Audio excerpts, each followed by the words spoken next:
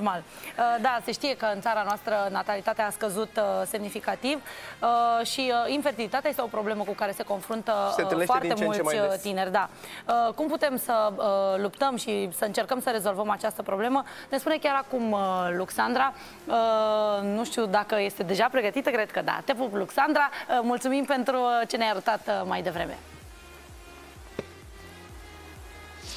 Bună Diana, bună Florin, bună dragi prieteni, am venit uh, și eu la un eveniment altfel astăzi la Teatrul Odeon, acolo unde fiecare dintre noi poate aduce uh, cadou o păpușă, uh, asta pentru a trage un semnal uh, de alarmă, dar și uh, pentru a marca în mod pozitiv ziua uh, în care luptăm împotriva infertilității. Alături de mine este o persoană specială, colega noastră Carmen Moise uh, de la În Premieră, care ne spune mai multe despre uh, cât de gravă e problema infertilității în România și ce înseamnă evenimentul ăsta altfel de azi? Îți mulțumesc foarte tare că ai venit și că m-ai primit și pe mine în uh, casa voastră.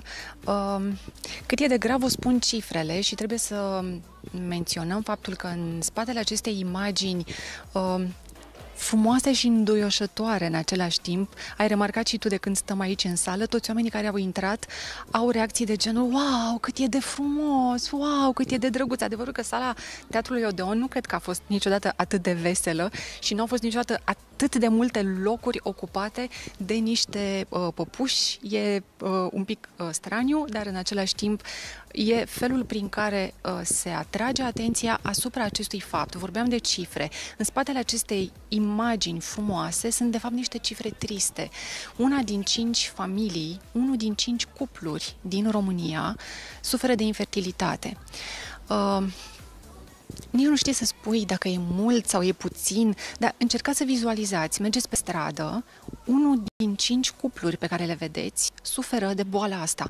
E boală, ea trebuie să fie considerată o boală. Ăsta este primul pas pe care ar trebui să-l facă autoritățile, dar și societatea, pentru că inclusiv noi avem o problemă de a privi în ochi și de a spune lucrul ăsta, de a vorbi despre lucrul ăsta.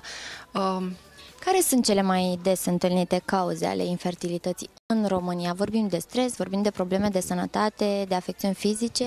Medicii spun că ne concentrăm prea mult pe carieră și când uh, ne dăm seama că ceea ce ne lipsește cu adevărat din viața noastră este un copil, este uneori prea târziu.